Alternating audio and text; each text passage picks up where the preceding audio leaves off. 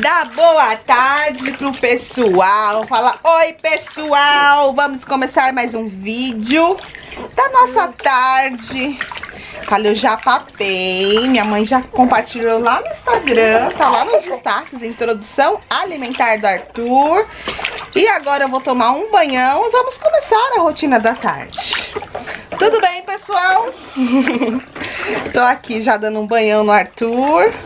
Tá bem gostosinho o dia hoje. Bem gostoso. Hoje é segunda-feira, né, filho? Hoje de manhã eu fiquei só fazendo a sopinha dele. Hoje eu acordei um pouquinho mais tarde que eu tava um pouco mais cansada, né? Eu acho que os dentinhos dele estão nascendo. E ele tá tendo uma certa dificuldadezinha de dormir, sabe? Então, eu, eu dormi até um pouquinho, dormi até 9 horas. Aí de manhã eu fiquei papeando com a minha mãe, fazendo a sopinha dele. Eu vou depois compartilhar com vocês como que tá todo esse processo, mas deixa eu me acostumar primeiro pra depois compartilhar, né?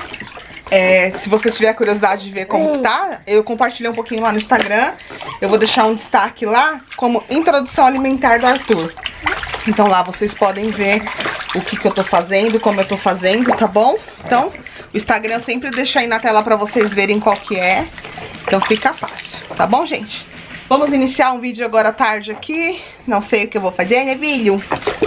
Vou ajeitar algumas coisas, eu vou ver se eu lavo uns dois tapetinhos meu. E é isso aí, a casa tá limpinha. Então hoje eu quero fazer só umas coisinhas por cima. Hoje o marido teve que ir na empresa trabalhar. A gente fica meio, né?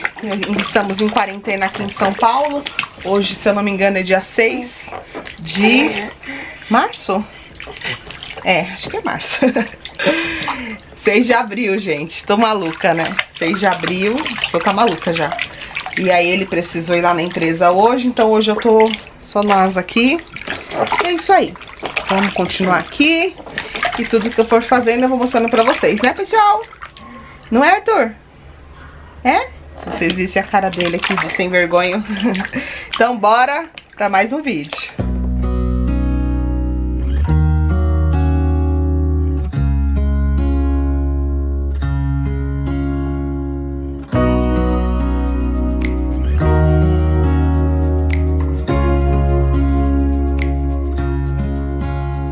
Were just standing there with the wind in your golden hair. Didn't know your name,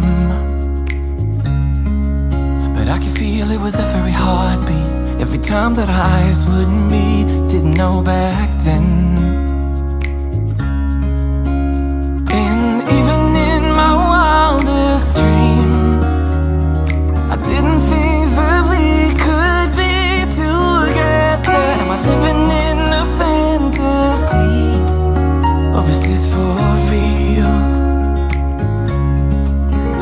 thought that you could fall for someone like me. Never thought that you could fall for me.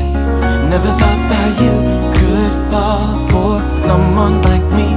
Never thought that you could fall for me. For someone Ai, tomei banho. Gente, vocês viram como ele tá sapeca? Agora ele descobriu o pé, ó.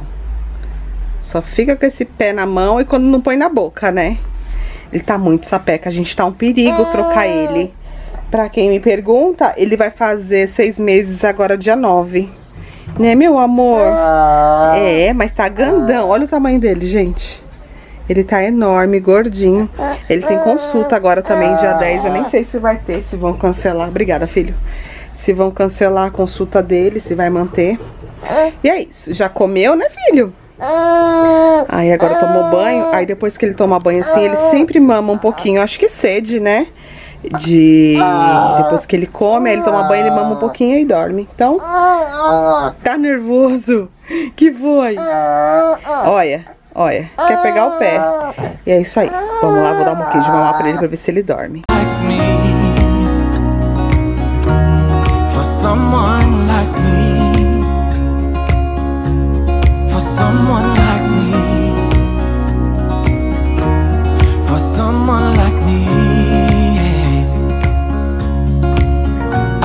what you see in me. I'm not good for you, can't you see that I will drag you down? Here at the bottom, I hope that you finally see I'm not good enough. And even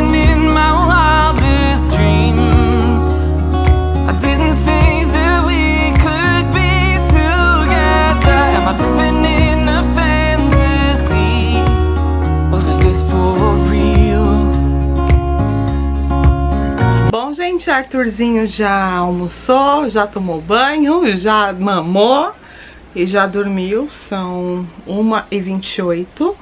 Então, assim, gente, estou começando a introdução alimentar do Arthur. Cá, mas por que, que você não compartilhou aqui com a gente, fazendo a sopinha e tal? Porque assim, gente, eu também estou reaprendendo, né?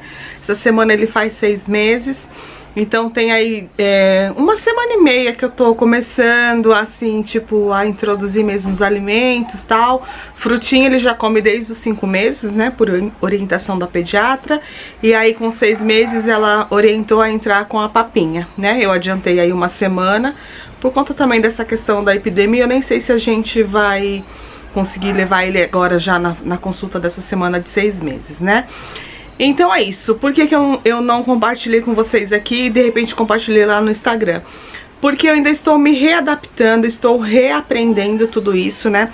Na verdade, quando o Kai e a Karina nasceram, não fui eu que fiz a introdução alimentar deles, foi a minha mãe, né? Porque na época eu trabalhava e aí, consequentemente, também a escola. Então, assim, eu nunca tive o privilégio e a oportunidade de fazer isso com os meus outros dois filhos. Então, por isso que eu quero fazer de uma forma bem leve, bem tranquila, bem assim, usando o instinto de mãe mesmo, que eu acho que é o mais é, essencial e o mais poderoso que existe, né? A pediatra, ela dá as orientações tal, mas eu acho que o instinto de mãe, ele excede é, qualquer entendimento, né? Ele, é, ele é poderosíssimo. Então acho que foi por isso que eu não quis compartilhar já a princípio aqui no YouTube, porque assim, aqui é muito complicado, sabe? Sempre vai ter aquela mãe que vai dizer, ai, mas eu não fiz, mas eu não gosto, mas tá certo, mas tá errado. E eu acho que eu estou no momento de reaprender né? Eu estou me reabilitando a ser mãe de um bebê novamente. Então acho que nesse momento, quanto menos eu tiver de gente falando na minha orelha, olha, faz assim, faz assado, não é assim, tá errado, você tá errando, eu acho que vai ser mais gostoso e mais prazeroso pra mim é, usar o meu instinto de mãe do que, de repente, milhões e milhões de opiniões, até positivas, né? Às vezes as pessoas falam, ai não, faz assim. Eu entendo que tem, assim, muita positividade, né? Mas por de cada 10, de cada 20, sempre vai vir um que vai falar e que vai querer impor a sua, a sua sabedoria, impor a, o seu jeito de agir né, na, na, na, vida do outro. Mas nesse momento eu preferi, eu, eu, pensei muito sobre isso, sabe? Eu conversei muito com uma amiga é, se eu compartilharia ou não, se eu faria ou não. Mas eu, eu, eu, eu preciso nesse momento aprender primeiro, né, para poder fazer. Eu não quero vir aqui e falar assim, olha, eu estou fazendo assim, faz também, não. Eu quero que as pessoas entendam, as pessoas que chegarem aqui e virem eu dando uma comida pro meu filho ou fazendo, saiba que aquilo é bom pro meu filho, né? De repente não é bom pro seu, de repente ele tem intolerância a algum alimento, de repente você, que nem eu não gosto de fígado. Eu acho que é um, é um alimento muito nutriente, mas assim, eu não conseguia nem dar pros meus filhos porque é uma coisa que eu não gosto. E de repente você não vai ver eu dando fígado pros meus filhos porque é uma coisa assim que eu não tolero nem olhar, sabe? O cheiro, tudo. Então aí de repente você vai achar que é, poxa, mas... Então assim, eu queria seguir, eu quero, né? Não queria não, eu quero, eu vou seguir os meus instintos. Então assim, se por acaso nesse vídeo eu não mostrei, né, só falei que ele comeu e mostrei mais lá nos stories, foi por isso, porque eu quero primeiro aprender eu quero primeiro estar tá bem, segura do que eu tô fazendo, pra depois vir aqui e falar pra vocês, olha gente, eu tô fazendo assim, assado. Mas é simples, tá? Eu tô fazendo bem aquela coisa de mãe raiz mesmo, sem muita frescura. Lógico, com higiene, com qualidade, tô fazendo tudo muito... Eu tô tendo tanto prazer em fazer as comidas do Arthur, quer dizer, comecei tem... Uma... Já fiz duas vezes, né? Duas... duas dois pot... duas sequências, né? Que eu faço três potinhos para ele se alimentar durante três dias. Então, assim, eu tô tendo tanto prazer em fazer a comida do meu filho ali, é, picar as coisas, e lavar, e cozinhar, e triturar. É uma coisa, assim, que eu nunca tive a oportunidade de fazer. Isso me doía muito, sabe? É, eu chegava, os meus filhos estavam muito bem cuidados, muito bem alimentados, cuidados pela minha mãe, mas eu nunca tive o prazer né, de pegar e fazer uma comidinha fresquinha, de quando eu ia dar no fim de semana, salvo quando eu folgava de fim de semana, eh, já tava tudo pronto, a minha mãe que fazia, então eu só pegava e dava, e raramente eu dava, quem dava era mais a minha mãe. Então assim, eu nunca tive esse prazer de cuidar dos meus filhos mesmo, sabe? De picar, sabe o prazer de picar uma cenoura, gente? Eh, eu nunca imaginei na minha vida que eu fosse reviver tudo isso né? Então são pequenas coisas da vida, são coisas assim tão simples que eu, que eu jamais imaginei viver de novo e que eu tenho vivido de uma forma tão deliciosa, tão prazerosa que eu, eu não sei explicar pra vocês, eu só sei sentir, sabe? Pra mães corridas, mães que trabalham fora, pode já falar, mas poxa, que saco. Mas não é, eu vivenciei isso, sabe? De não ter tempo, de. Eu, eu cheguei. Na minha época, de repente, eu cheguei a dar até papinho industrializado. Eu não sou contra, tá? Você faz o que você achar melhor pro seu filho. Mas na minha falta de tempo, quantas vezes eu não passei no mercado e comprei uma papinha pronta? Eu não critico, tá? E se eu tiver que passar hoje, numa emergência, com certeza eu vou comprar, não tem problema nenhum. Só que assim, é tão diferente eu não sei explicar pra vocês, gente. Tô até salivando. É, é, diferente, sabe? O sabor de cortar uma cenoura, uma mandioquinha, uma abobrinha, cozinhar, triturar, colocar no potinho, ver ele comendo é surreal, de verdade. Eu agradeço imensamente a Deus é, a oportunidade de estar vivendo isso de novo, sabe? Quantas vezes eu tive medo de ser mãe novamente, né? Quem tá chegando agora no canal, eu tenho um filho de 13 e uma filha de 9. Então quando eu me vi grávida do Arthur é, eu me vi muito mal, muito tipo, meu Deus do céu, eu vou começar de novo e eu não vou saber, porque eu nunca tive isso com os meus filhos, né? Assim, eu criei eles, mas esse grosso mesmo de, de introdução alimentar, sair das fraldas, quem ensinou foi a escola, quem ensinou foi a minha mãe. Eu pegava praticamente pronto, né? Eu saía muito cedo, chegava muito tarde em casa. E hoje eu, eu sou imensamente grata a Deus pela oportunidade que Ele está me dando de fazer tudo de novo e tudo diferente né? Mas se você é mãezinha, tá aí do outro lado e já teve a sua maternidade, foi que nem eu que não tinha tempo, se é hoje você tá vivendo isso, também não se cobre.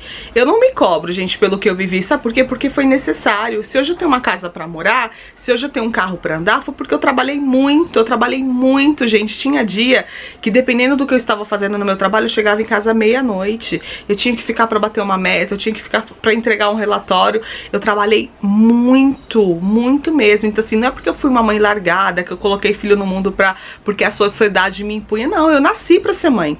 Quando eu casei com o meu marido, a gente já sabia que a gente queria ser pais, tanto que quando eu fiz um ano de casada, eu descobri que eu tava grávida do Caio. Então assim, pra mim, isso foi muito claro na minha mente, eu sempre quis muito ser mãe. Eu tinha o quê? Tempo de qualidade com meus filhos, então quando eu estava em casa, eu aproveitava eles da melhor forma possível. Eu dava a papinha pronta, que minha mãe já tinha feito, mas eu dava com prazer também. Mas é isso que eu falo pra você, se você é mãezinha, se você ainda não vai ter uma nova oportunidade que nem Deus deu pra mim, não se cobre. É a sua vida do momento. O seu filho não vai crescer traumatizado. Ele não... não, os meus filhos, eles são muito bem resolvidos. Eles não têm nenhum trauma dessa época, mesmo porque eles foram muito bem cuidados. Tanto pelas escolas que a gente escolheu, né, que eles estudassem, escolas públicas mesmo, com pessoas maravilhosas que passaram pela vida deles, e quanto pelos cuidados da minha mãe e até mesmo da minha sogra em alguns momentos. Então, assim, eu não, eu não tenho o que falar.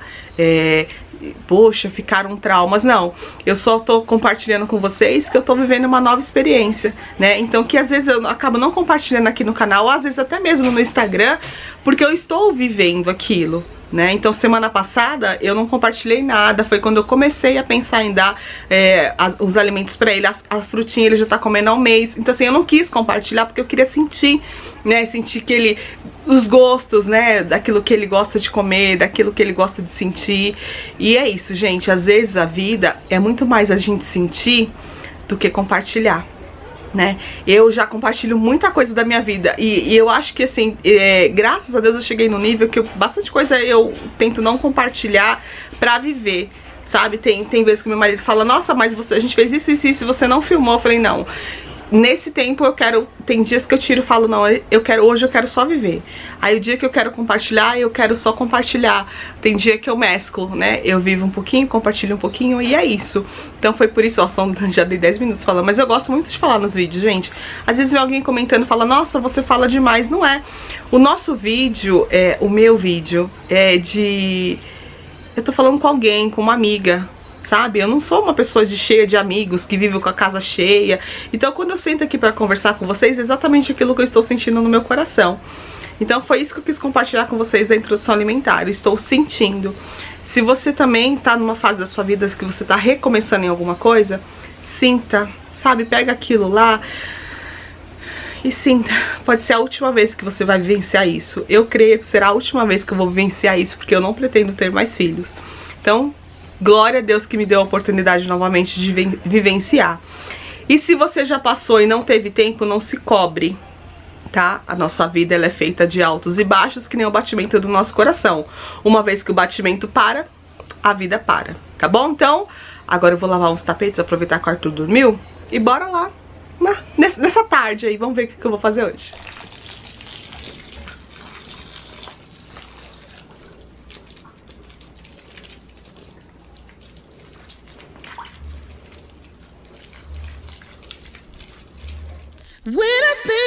The way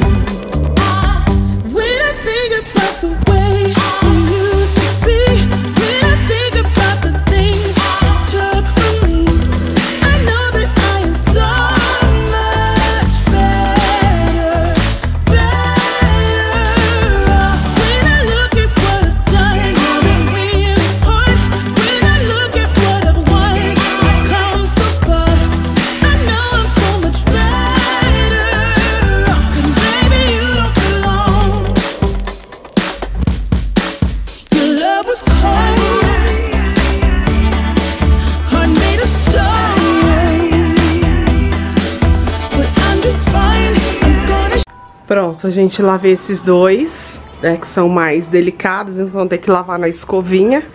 Esse aqui tava bem sujo, que era do quarto das crianças. E esse aqui do meu quarto. Até que ele não tava tão sujo, não foi tão difícil de lavar, não. Ele tava mais empoeirado, né? Aí deixei ele na máquina batendo os do dia a dia mesmo. Eu confesso pra vocês que eu detesto lavar tapete, gente. Principalmente tem esses assim. Ai, cansei.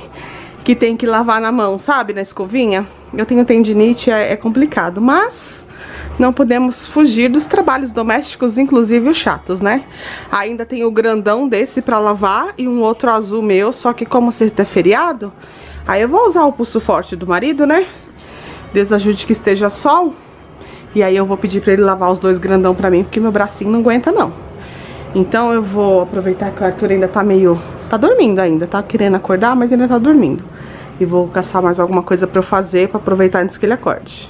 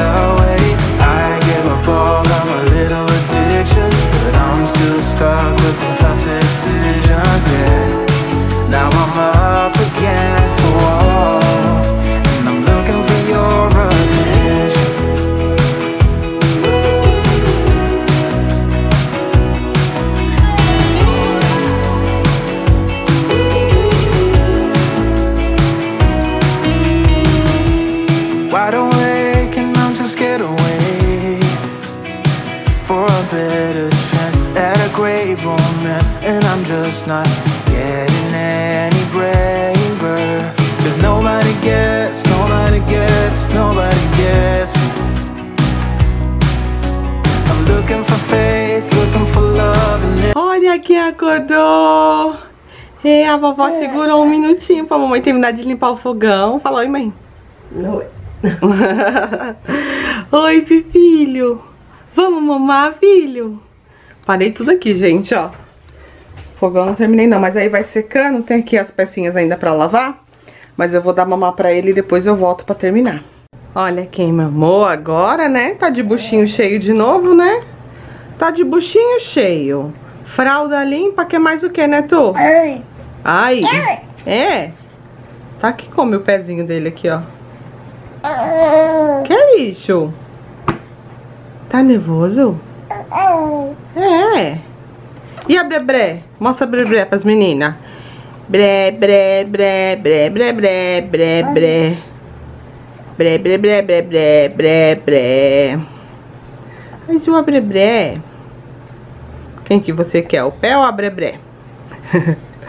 Ai, gente, ele adora esse bichinho. Tem o Ferdinando também. A gente deixa aqui embaixo. É na hora que ele senta que a gente dá pra ele. Ferdinando. Ah, o Ferdinando, né, filho? É. A Brebré e o Ferdinando. Aqui, ó. Seus brinquedos. E agora que a mamãe precisa terminar lá de limpar a cozinha? Hein? Seu irmão tá fazendo lição e seu irmão tá brincando. Como que a gente faz? Hein? Você vai comigo? Vamos lá? Estão fazendo obra, né? Vamos lá com a mamãe? Vamos? Bom, essa é a realidade de uma mãe que precisa terminar de limpar o fogão. Aí eu trouxe ele pra cá, né? Vai ficar aqui comigo, conversando, né, filho?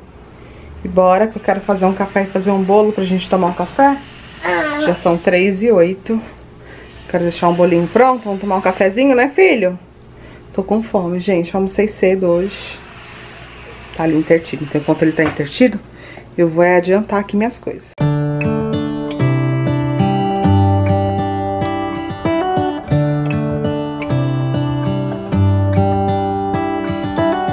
How come the stars come to shine when it's dark from so far away show us where we are? What makes the sun go to sleep every night and what's it dreaming of? I wonder.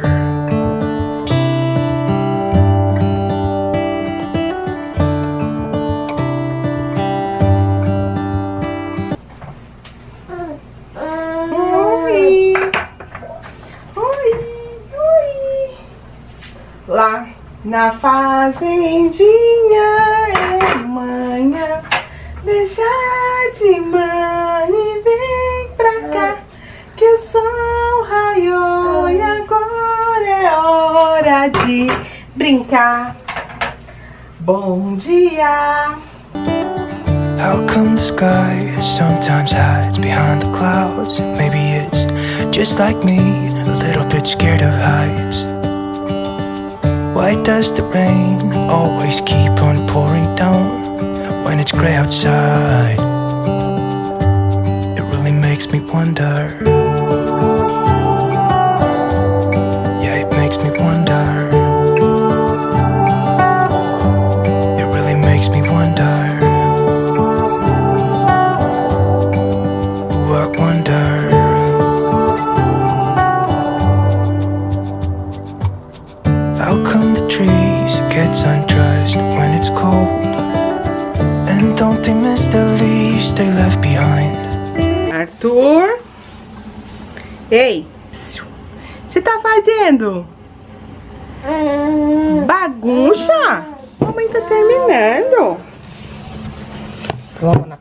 gente. Eu vou fazer um bolinho. Vou pôr um bolinho pra assar. Né, filho? Aí depois eu já limpo o chão, faço um café. E pronto! Pronto! É, já vou fazer. Eu vou dar atenção pra você. Só um minuto. Tá bom? Mamãe já pega você, filho. É. A Brebré. Cadê a Brebré? Pega, bebê. Peraí, tá bom? Could it be to make the ground shine like gold until winter comes? Until winter comes, until winter comes. It really makes me wonder. Yeah, it makes me wonder.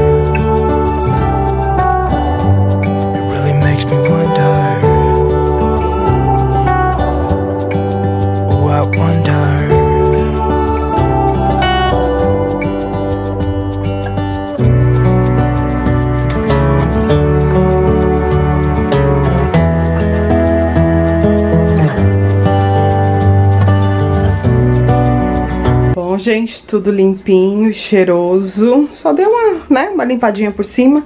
Se fizer isso todos os dias, gente, não fica acumulando sujeira, sabe? Pra, pra um faxinão toda hora. Aí limpei aqui o chão, ó. Passei um mop com aquele uau cloro, que eu estou amando aquele multiuso deles. O limpeza pesada com cloro. Aí já está saindo aqui um cafezinho delícia. Ó, tá aqui coando. E ali no forno já está saindo um bolo de coco de caixinha prático e rápido. E é assim que eu encerro o nosso vlog hoje da nossa tarde. Já vai dar 4 horas da tarde. Arthur, agora eu coloquei ele ali na sala com as crianças, mas aí eu vou terminar aqui o café, esperar o bolinho assar, pra gente tomar um café e sossegar um pouquinho, né? Vou tomar um banho, vou ficar um pouquinho com ele, vou editar esse vídeo pra vocês. E é isso. Seja muito bem-vinda quem tá chegando no canal agora. Se gostar, se identificar com o conteúdo, fique aqui com a gente, tá bom? Não esqueça o like do amor, que é muito importante pro YouTube reconhecer que você tá gostando desse canal. E acompanha lá no Instagram, que nem eu falei pra vocês, tem muita coisa que rola lá e não rola aqui, tá bom? Ou então às vezes rola lá primeiro e depois vem pra cá. Tá bom, meus amores? Fiquem com Deus e até a próxima. Tchau, tchau!